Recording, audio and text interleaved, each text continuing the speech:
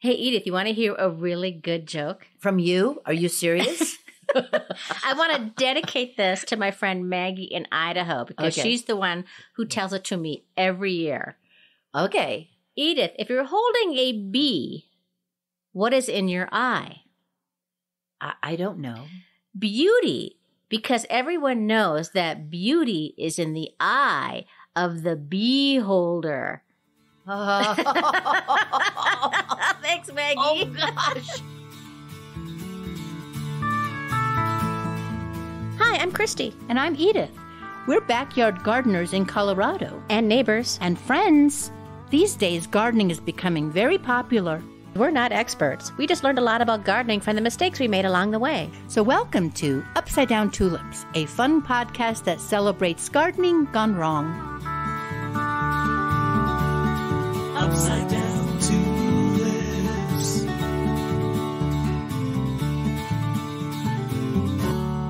Hello, Christy. Hello, Edith. Here we are again. Here we are. Hello, everyone. Hello, green thumbs and brown thumbs. And No thumbs. Don't be right. discriminatory. of course not. Yes, right. The thumbful and the thumbless. Yes. You are welcome here for some laughs and some, uh, hopefully, some good garden tips. Yeah. So, Christy, what's been happening in your garden? You know, I haven't done much in the garden. It has, um, I'm just waiting. I'm waiting for, Mhm. you know, I'm waiting, I'm dreaming. You've already done some winter sowing. Yes. And I'm going to do yeah. some more coming up in a couple weeks, but Mhm. I'm kind of just kind of, kind of waiting. I'm glad right now, folks, as we're talking, it is, it is a beautiful Colorado snow happening. Mm-hmm. As, as somebody who grew up in Minnesota and I've seen my share of snow, I tell you, no state has the, has a snow as pretty as Colorado. It is awfully pretty. Big Yeah. fluffy flakes happening up there. And it's good for our gardens. Yeah. Because it's going to melt and go d- down deep, and it's good for the trees. And snowflakes grab onto nitrogen, which is, they call it the poor farmer's fertilizer. Mm-hmm. Well, Christy, I uh, have not yet done any winter sowing. I, I It's will. not too late. It's not too late. But I have checked my bokashi bucket that Oh my goodness, I'm scared. my loins are girded. Okay, I was a little nervous too because the last one that I opened in the summer, of course, was full of maggots. And, And was- Edith, will you remind people what a, bo- a bokashi Oh, bucket is? Yes, it is. Um, you put all of your kitchen scraps, and you can put papers and stuff. You can put meat if you want in a bucket, and then you make it anaerobic so no air can get into it. Like my sauerkraut was supposed to be. Exactly. Okay. Exactly. And uh, supposedly it turns into a rich, deep black soil. Well, it's well on its way, I am glad to say. How many maggots? No maggots. Okay, good. you know, it's winter time. And so maybe that's why, although I've seen dead flies here and there, which is so weird. Uh, anyway, it's beautiful looking. And uh, it's been in there probably for five to six months now. Isn't that isn't that funny? What gardeners get excited about? It is funny. Like, Yeah. wow, we are so like that is so sexy, Edith. We're That's so we're such Yeah. nerds, aren't we? We're such nerds. It's happy. beautiful though, and it doesn't smell at all. That is interesting. It's wonderful. Also, I added more mulch to my garlic that I planted, the new garlic. Uh huh. You know, to try to protect that because we had we did have some very cold nights last week. Yeah. Um, I harvested more carrots. Oh, my I my Still have more, and I noticed one of my Swiss chard so far has overwintered. It is still alive. Wow. Now, I did mulch it very well in the fall, So but you that's could you could have you could be eating Swiss chard in a couple weeks in March. I could be eating Swiss chard in March. That's really exciting. Well, you're right that it was. It did get cold here, Yeah. and I realized this, Edith, that there were a couple nights where it was in the teens Uh huh. that I had not covered my rosemary or my my new forsythia plant. And so I rushed out the next night to give them a cover. And fingers crossed, they still they look okay, but I think anytime it dips into the 20s, Yeah. one because Yeah. rosemary in our zone is just doesn't like that. And two is Yeah. that forsythia plant I planted in October and I'm worried it doesn't have enough strong root structure to get Yeah. it through a cold winter. So Well, you know, I brought my uh, rosemary in How's it's, it doing? It, well, it's still alive. I wouldn't say it's thriving, but it's still alive. Well, you know, I still have those pepper plants in my attic, and they are technically, I think you'd call them alive. you know, but they're not, you know, they have no leaves on them. And Uh-huh. I'm going to start thinking about when do I start bringing, start watering, you know, I've been watering them once a month. yeah. When do I start trying to activate them more? Couple weeks. Here we are. It's February, you know, middle of Yeah. February. Yeah. Things are Things are just about to start Yeah. busting out all over. Yeah, and you know, and typical weird Denver metro weather, it's going to be in the 50s next week. I even think we have a day that's going to be in the 60s, Edith. I've So- seen seedlings. I've seen I've seen growth. Yeah, you I have I have tulips coming up and Yeah. I'm going to I'm doing slowly cleaning out, going to start cleaning out my beds more. I'm going to focus on the iris beds. Yeah. Well, we're gonna, folks. We're gonna do a whole March to do list. Yeah. in a couple of weeks. Oh my we gosh, like to that's gonna be that long. because uh, and March is is a busy month. Believe it or not, Yeah. in the garden, it's a busy month. Very busy. Yeah. And uh it's all February, Edith. It's also, you know, Black History Month. Mm-hmm. And I have an interesting musing I discovered regarding uh, the Black community who was responsible for many contributions to horticultural, plant sciences, gardening, and nature. Mm-hmm. And I want to tell you the story of Edmund Albius, who was from 1829 to 1880. And we would not be enjoying vanilla today without a discovery that this man made when he was 12 years old. What? So, vanilla before um, it became very popular worldwide could only be uh, made and processed and propagated in Mexico. And there were people that wanted to start doing this in Madagascar. And Edmund Albius, who was from an island just in the Indian Ocean, just to the the east of Madagascar, was born into slavery. And um, as they were trying to propagate vanilla in these islands, they discovered they couldn't do it because they didn't have the right bees. Aha. So, and they also found that it was very difficult to hand pollinate it. But when he was 12, he discovered a technique of hand pollination that changed the vanilla industry forever. He discovered that you could pollinate the vanilla orchid by manipulating the flower and moving the pollen to the flower stigma with his thumb. Wow. And he and um, due to his discovery, the island that he was on, which is called Reunion in the Indian Ocean, became the world's largest supplier of vanilla, and many planters prospered in response. Eventually, Edmund Albius gained his freedom, but of course, he never received financial benefit or widespread recognition for this discovery during his lifetime. Wow. So I just wanted to, since we're talking Uh-huh. today about pollination and Mhm. bees and butterflies, I Mhm. want to give a shout out to Edmund Albius. well, that was good. That was good because um, I love vanilla for one reason. I love it. It's a nice, clean taste. I, I would put it on as a perfume if I were a perfume wearing person. Oh, that's nice. Yeah, I would like to smell like vanilla. I would. And folks, if you want to help support this podcast, don't forget you can join the garden party. We have 42 members of the garden party, and these are folks who drop a couple bucks a month to Upside Down Tulips to help pay our bills Mm-hmm. and give us the encouragement to keep going with bad jokes and puns and uh You could give more than a couple bucks. Don't forget that. I that's true was at Starbucks the other day and two coffees, 10 bucks. That's insane.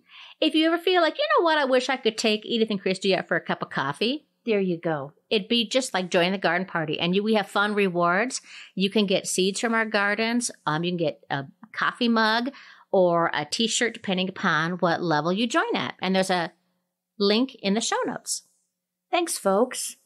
and if there are ever words or terms that you're unfamiliar with you can go to our website at upsidedowntulips.com and check out the upside down dictionary You could go to our Facebook page or Instagram, Pinterest, or YouTube. lots of fun stuff there And now we have for you a pod play that has only been heard by the garden party. We're now opening it up for everybody.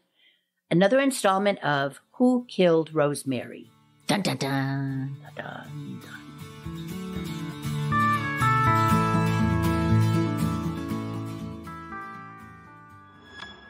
Previously on Who Killed Rosemary. She was fine the day before. Life was finally perfect. And now she is dead. I just don't know what could have happened. Who killed my Rosemary? At Phoebe's Phenomenals, they had the latest trends to help make your manicure stand out. I am Juno Halloran, and I am a motherfucking master gardener. Did Rosemary have any enemies? She was one of those love it or hate it herbs. Many people enjoyed her pungent pine like personality. But her strong aroma and flavor can turn some folks off. But enough to murder? John Elway. For Upside Down Tulips, I am Misty Contour, and this is Who Killed Rosemary. After my visit to the Jefferson County Extension Office, I had more questions than answers. I returned to Edith, who was working in the garden. Die! Die! Die! Edith? Oh, you startled me. Now that Rosemary is gone, knocking Japanese beetles into soapy water is the best part of my day. Edith, the authorities cannot rule out foul play. Did Rosemary have any enemies? Who? My Rosemary? Of course not. Everybody loved her. She was just so stimulating and fun to be around. Didn't you once say sometimes she came on too strong and you just had to know how to handle her? No, I would never say something like that. Isn't this you? Sometimes she came on too strong, but you just had to know how to handle her. Well, Yes. now that I think of it, there is someone who might have held a grudge. Excuse me. Who Killed Rosemary sponsored by Antelope Tuomi's Feed and Poetry Store, where the feed is hunky dory and the poetry reading is mandatory. Use promo code Sometimes She Came On Too Strong, but you just had to know how to handle her. Go ahead, Edith. Tell me who might have wanted to hurt your Rosemary. She used to have a thing with this squirrel. They were awfully chummy for the longest time, and then they just seemed to break up, and that squirrel hasn't been around in a long time. I didn't know what happened, and Rosemary wouldn't discuss it. Looks like I have a squirrel to talk to. Die! Die! Die! If you have any information related to the death of Rosemary, please email upsidedowntulips at gmail.com. Thank you for listening and tune in for upcoming episodes. So, Christy, um, to, speaking of butterflies, I have a really beautiful quote, and it is from a French poet from the 19th century. His name is Ponce Denis Ecouchard Lebrun. He has four names. Beautiful pronunciation. I'm impressed. Thank you. I actually looked it up so I wouldn't sound like an idiot. But four separate names he has, you know, because he's French and they're lusty, right? They have like eight courses for dinner, four names. So he wrote, listen to this butterflies are flying flowers, and flowers are tethered butterflies. Your face is looking That's delighted. great. Isn't it beautiful? Oh, I love that. And when I looked him up, it said he was a poet who wrote lofty poems. That is beautiful. And what is a butterfly? It is a loft. Yes. Do you know what they call, Edith, a, you know, we love collective nouns. And what do they call a group of butterflies? What do they call it? There's two common words. One is a kaleidoscope of butterflies, That's so beautiful. and the other is a flutter of butterflies. A flutter of butterflies. That's great. Well, I uh, one of the reasons that we love to garden is to attract the butterflies. I have to say, when I look back at some of my most favorite moments of joy in the garden, is when I'm out there. Maybe I'm weeding, maybe I'm puttering, and one of those giant yellow swallowtail butterflies will just flutter through. It's Um, beautiful. And, yeah, just stunning. and we we're losing um quite a few butterflies. there We're used to be a billion monarch butterflies. Mhm. And now they say they're about 35 million. So uh, there is an organization called the Live Monarch Foundation, and they're trying to save the butterflies. And folks, if you send a self addressed stamped envelope to the Live Monarch Foundation, they will send you milkweed seeds that are native to your area. Oh, that's cool. Isn't that cool? For free. Because their mission is to save. And milkweed is the only thing that uh, monarch caterpillars eat. It is the only plant. And it's one of those very interesting symbiotic relationships Mm-hmm. in the plant and animal world. Mhm. I find like, you know, like, like, you know, like panda bears and eucalyptus leaves, right? Right, They have this really important relationship because um, of the pollination that the butterfly will do to the milkweed Mhm. and the nutrients that the milkweed will provide the monarch's babies. It's, Should I give the address for Oh, people yeah. to write this? yeah. Okay. Live Monarch, P.O. Box 1339, Blairsville, Georgia, 30514. And if you didn't get that, just Google Live Monarch Foundation. And we'll put a link in the show notes, Edith. Good, that's a good idea. You know, last year I had one monarch in my yard. Me too. I bet it was the same one. I bet it was because folks only had one. If folks don't remember this, Edith and I just live a couple blocks from each other, Mhm. and sometimes we're amazed about how different our gardens can be, but also how similar Yeah, they yeah. could be. And a baby that was the same was it in the fall? Uh-huh. It could have Yeah, been the very was- same one. Yeah. Oh and my, uh, Christy, I have so many milkweed out in the front. Um, they've seeded themselves, Uh-huh. and yet still just one. Well, maybe we'll get more. I do get a lot of other butterflies, uh, well, especially the yellow swallowtail. Yeah, lots of I will get in there. Yeah. I will also get the black swallowtail. Do you ever get that one in your yard? Once in a while, yes. And um, I'll get, um, and some people don't like these, but I like them because I think they're goofy. The little tiny ones. The white, um, Yeah. the white cabbage. I think are they called cabbage butterflies? I think they are. They're all over. There- They're white so with like purple, and I think they're not supposed to be good for your cabbage. And then um, I'll also get painted ladies. Do you get those? yes. They look like I guess you just call them. They look like a smaller um, monarch butterfly, right? Yeah. Yeah. Um, and do you remember this in October 2017, where there was, you know, just a cycle of painted lady butterflies? There were so there was a, such a huge swarm or flutter or kaleidoscope of painted lady butterflies that it showed up on meteorological radar, and it looked like a cloud. Wow. I had so many of those in my yard that it it it was on the borderline of this is so cool to this is a little creepy. well, let's talk about let's talk about um, how we attract butterflies and how we keep them. Well, one thing I learned, Edith, about butterflies is that they um they like bright colors. Yes, they do. hmm So uh, the brighter colors that you have, you that those are the ones that they like. They also like flowers that are scented, which means you might have to go heirloom rather than a lot of the hybrid roses and stuff have had the scent bred out of them. That's so true. Yeah. um, that uh, certain plants I know that butterflies like would be uh, black-eyed Susans, Joe Pye weeds, marigolds. I know the yellow swallowtail love my purple coneflowers, Mm-hmm. uh, Yeah. also known as echinacea. They love salvias and zinnias. They like anything. I mean, they have a when they are butterflies, not little caterpillars. They have a proboscis, which is like a tube that they furl up when they're not eating.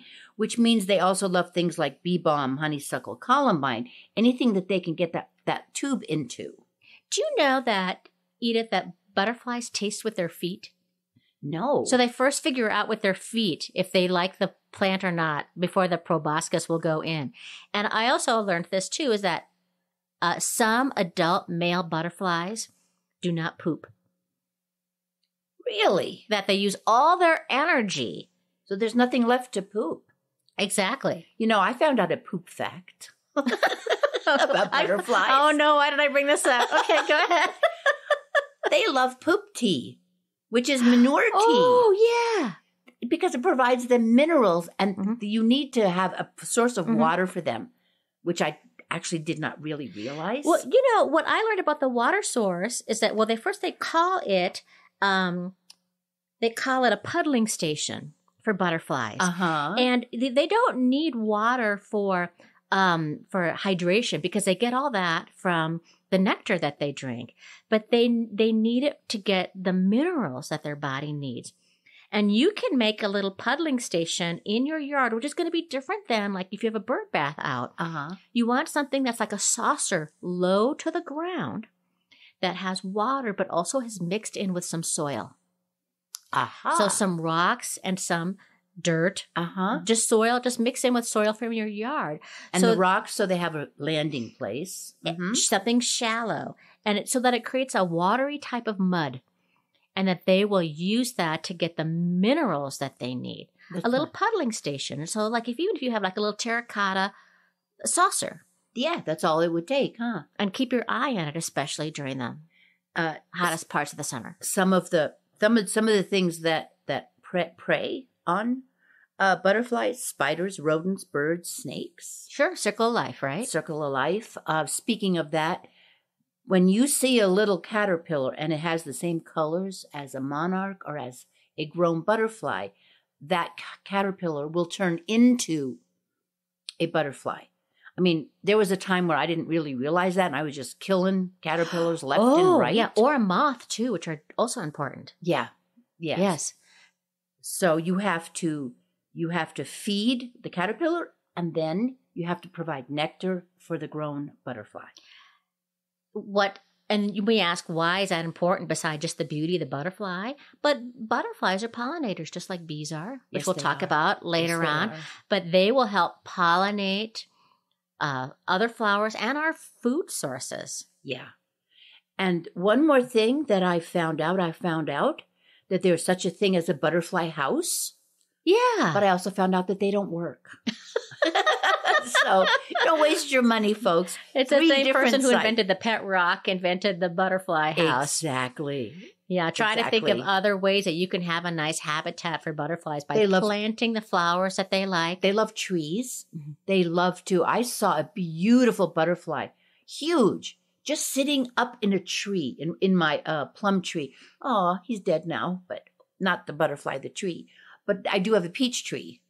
And that's another thing. Fallen fruit, Yes, I've heard they that. They love that. I've seen them on my fallen peaches. So don't think about you have to have a very neat yard all the time. No. Because if the the messier, not the well, you know, I mean, the less, the more allow a little chaos in your yard to help. it's a natural it's a natural chaos. And Edith, as we're wrapping up butterflies, do you ever get um the hummingbird moth in your yard? um I'm not sure. Do you? It's the str- yes, it's the strangest looking moth type. It looks like a it might be like a large bee or maybe people think it's a version of a hummingbird. yeah. And I actually posted one in my yard. I posted a video of it on our Facebook page. Um, and folks, if any of you have get hummingbird moths, also called hawk moths, they're the most amazing little little critter to have in your yard. Just fascinating. oh, that's sweet. Now, time for more. Who killed Rosemary? Dun, dun, dun.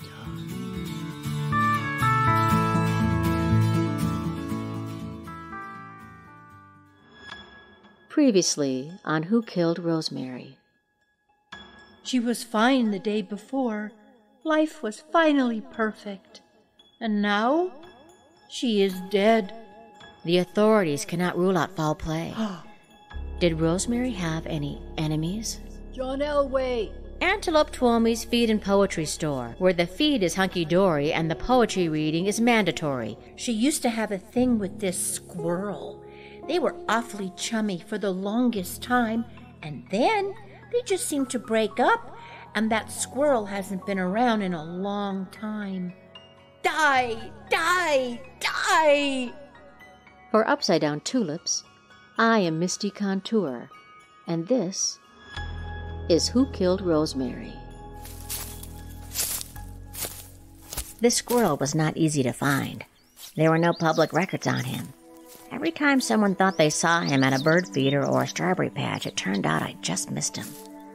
I learned he used to frequent Edith's garden a lot last year. He and Rosemary were known around the neighborhood to be quite the pair. These days, he's been seen hanging out in surrounding pumpkin patches. I finally tracked him down a few blocks from Edith's house in a backyard where a volunteer pumpkin vine was growing out of a neglected compost bin. Hello, me pretty. Let me just give you a cuddle. Let's give him pumpkin to talk about. Sorry to interrupt, but we need to talk. well, what's this, an IDO? Misty Contour? I love your podcasts. about time you caught up with me. Is this about the tomatoes? The tulip bulbs? The moblets? It's about Rosemary. Excuse me, my darling pumpkin pie. Let's pick up where we left off later. Ah, Rosemary. My old love. We had some good times, me and her. It's a shame what happened to her. A real shame. People are saying that your breakup was not very amicable, that you may have held a grudge against Rosemary. People can talk all they want. I loved her. I truly did. Nothing ever made me feel as fresh and alive like Rosemary. What happened? It just all became too much. Toxic, even. I had to move on. She knew. One thing about old Rosemary she was smart. Maybe she was too smart. I don't appreciate the tone you are taking, Misty Contour. I've concluded this interview is over, and if you don't mind, I have a pumpkin to enjoy. Come here, baby. I left the squirrel with an uneasy feeling in my gut, leaving me with more questions than answers. Was I being threatened? Have I gotten too involved? Was the squirrel not telling me something? What was he covering up? Like the way a cover of mulch can improve your garden. Want to control weeds? Mulch it. Want to retain moisture? Mulch it. Want to prevent disease from splashing up on your plants? Mulch it. When in doubt, get some mulch and mulch it today. Use promo code an uneasy feeling in my gut. Or was he a murderer? If you have any information related to the death of Rosemary, please email upsidedowntulips at gmail.com. Thank you for listening and tune in for upcoming episodes. Christy, do you realize what we just did? What? We put a podcast within a podcast. no, I love it. Yes. yeah, very cool. so meta. So now we're, oh no, that then you're, you're saying so Facebook. Oh. Meta is now destroyed. Yeah. Oh, so Facebook.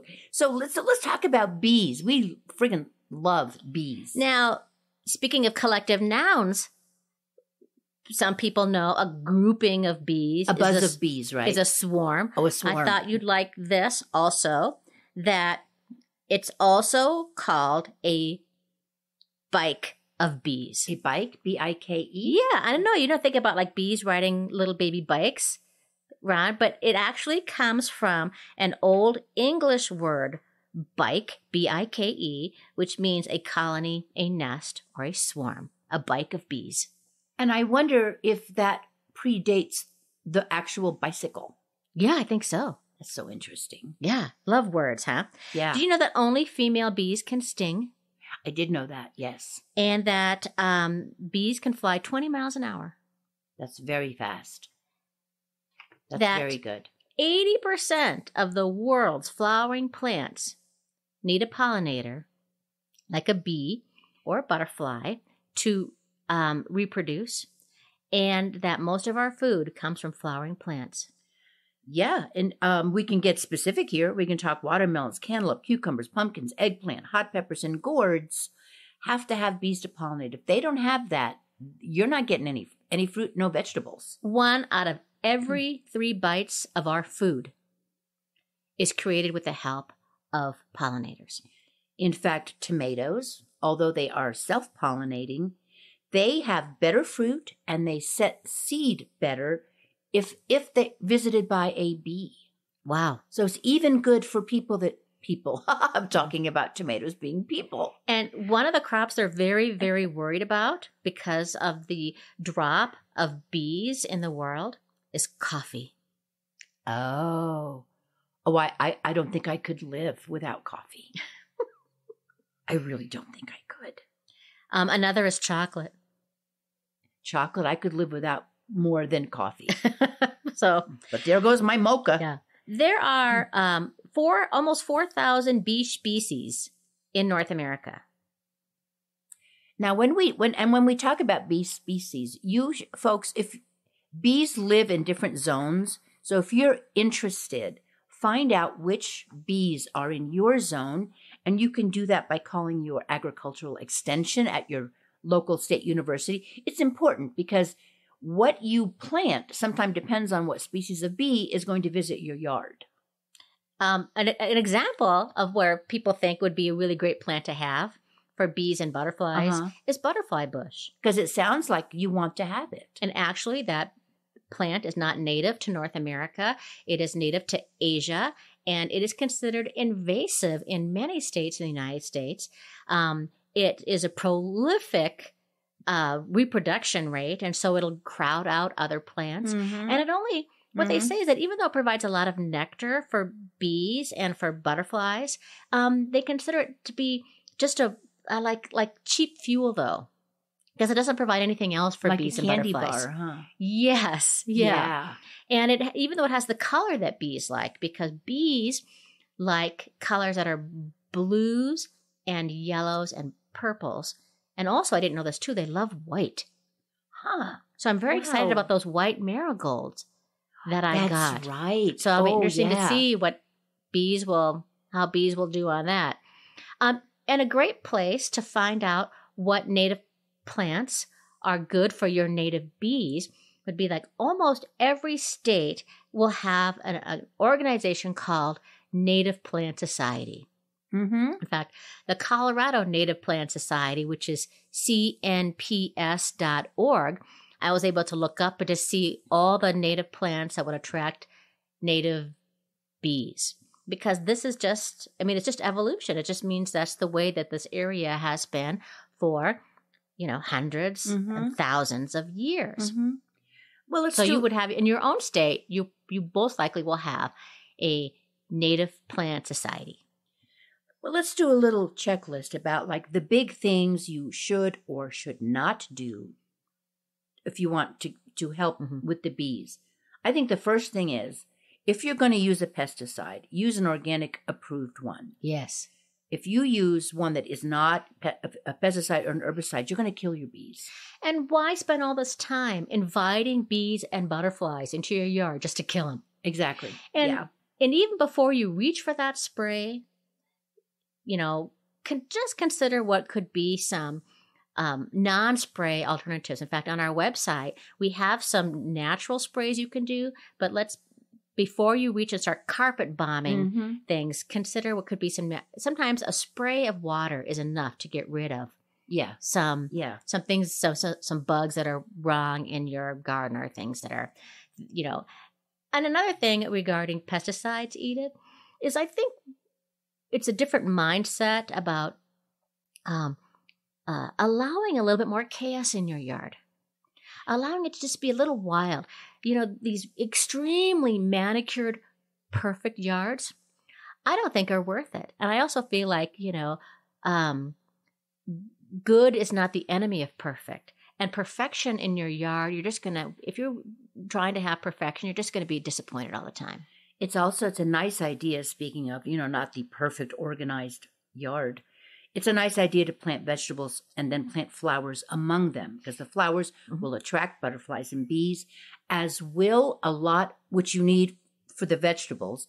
If you let some vegetables go to seed, that means that you are feeding the bees for way, way longer. That is such a great point. Like my, I remember bro- my broccoli went to seed and I just let it go. And Bees love that, don't they? in the fall, oh my were- goodness. You know what else they love that I was surprised?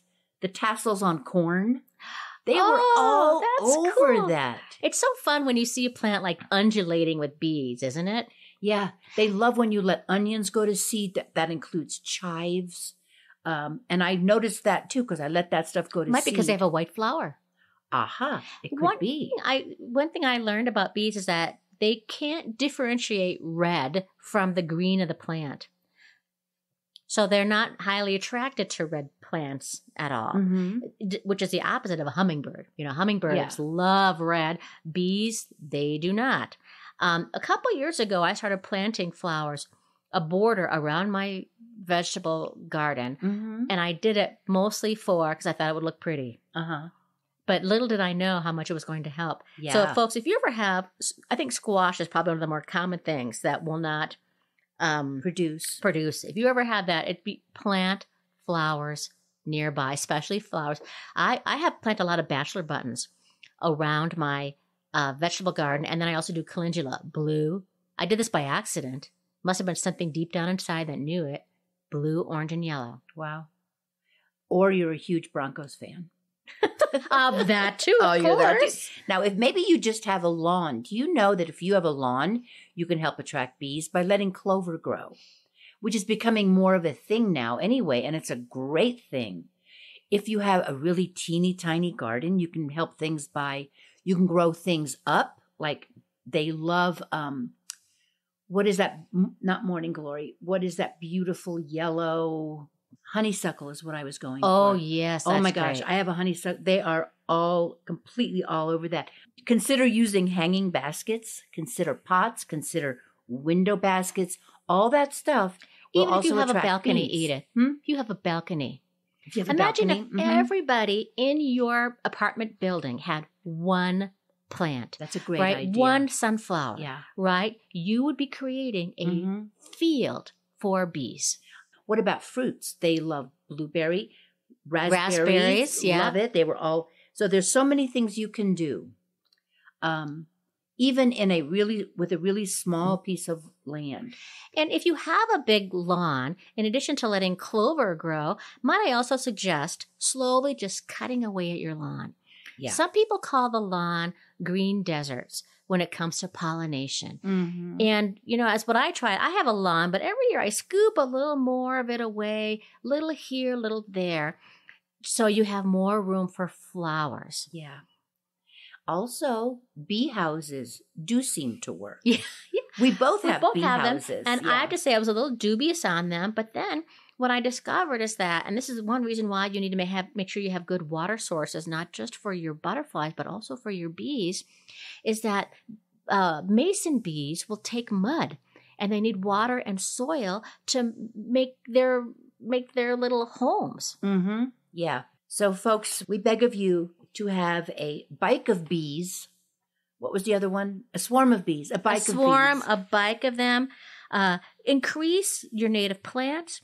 Reduce the use of pesticides. Mhm. Or eliminate entirely. Provide uh, some water sources. Yeah. And you'll get your bees. Christy. Edith, Knock, knock. who's there? The mailman. Ring, ring. because the mailman always rings, Rings twice.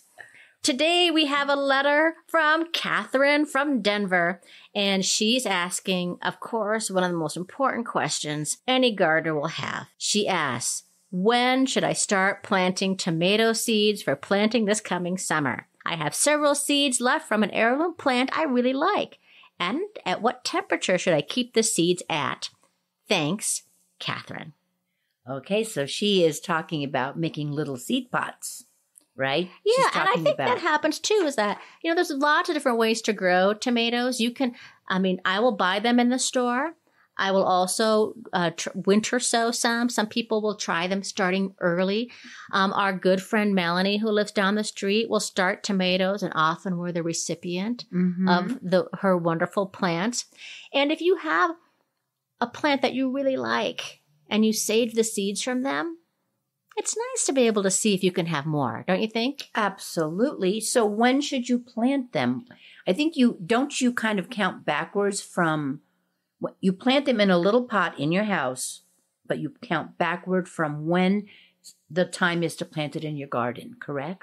Yes. Um, if you're going to start tomatoes inside, there are a couple little things that you need to be successful, which is you want to make sure you have the right light. Normally, the light from your kitchen window is not going to be enough, in my opinion. I don't know, Edith, if you agree with that or not. You know, I um I don't know because I take mine outside and put them on the porch. Oh, That's what. I do, and then I bring them in at night. And I also count back from the final frost date because of how much tomatoes love the heat. hmm Right. And so, like Catherine's asking too, like what temperature? And from what I know is that, you know, tomatoes like it warm. And so, like, if you keep your house at like 65 degrees, that's not warm enough. You need to be keeping your house in the in the low 70s, right? Well, the way I do it, you know, I use one of those clamshells, Mm-hmm. and so I put the little seed pots in there, Mm. put them in the sun because we have a lot of sun. You can't do this in every state. Yeah. But we have so much sunshine here. And then at night, I close the clamshell when I bring it in the house, and that traps the heat in there. So, what when would you normally start? Ah, I usually start too early, and then they get leggy. So I'm not Yeah. going to do that this year.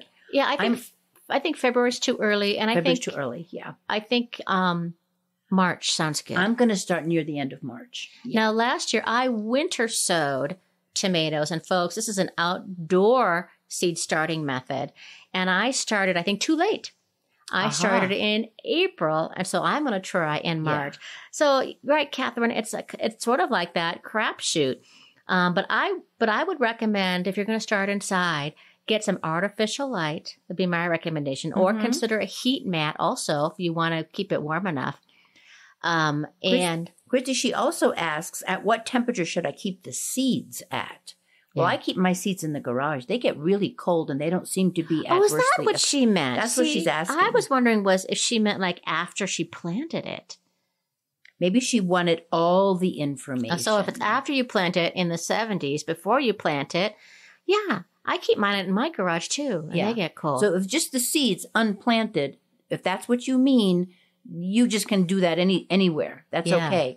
But if it's the seedlings, that's when you have to watch and make sure it's warm enough. So you're starting in March inside. uh-huh. I'm starting in March outside in milk jugs. Catherine, let us know what you decide to do. And of course, I will always supplement with I buy plants at my local nursery. yeah.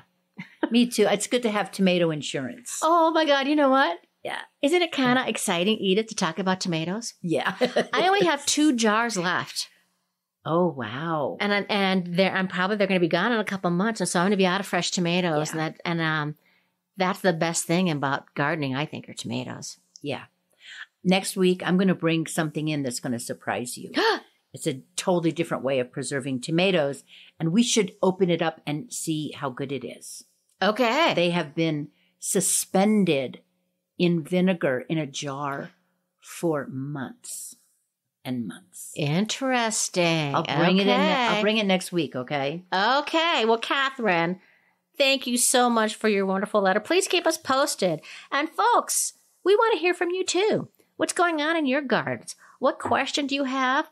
What advice do you have for Catherine or for us? Please write to us at upside down tulips at gmail. Or you could also go to our website, right? At mm-hmm. upsidedowntulips.com. Christy's looking pensive, and I'm hoping that she's going to inspire us. This week's inspiration comes from Liberty Hyde Bailey, who was an American horticulturalist and instrumental in starting the 4 H movement. Here's his inspiration A garden is half made when it is well planned. The best gardener is the one who does most of their gardening by the winter fire. Hey. That's what I'm doing good. these Yeah, days. That's a good one. Planning by the winter fire. That's nice. I was a 4-H'er. Oh, that's so cute. Oh. heart, what a head, heart, hands, health. Well, folks, thanks so much for listening. We are Edith Weiss and Christy Montour Larson. If you like us, if you got some value out of this, would you hit the subscribe follow button wherever you listen to your podcasts? Thanks so much to Denise Gentilini for composing and performing the Upside Down Tulips theme song. There's more. Go to denisegentilini.com. She's really amazing. Or you can find that link at upsidedowntulips.com. Thank you to the many talents of our kind friend, Karen Slack, as the squirrel. And thank you to our excellent yet enigmatic engineer. And a special thank you to our local nursery and friend of the show, Southwest Gardens. That's where I get all of my stuff that I need for the garden. Please join us next week for fun and easy tips on growing greens in your garden. And don't forget, if you make a mistake, Your garden will forgive you. Upside down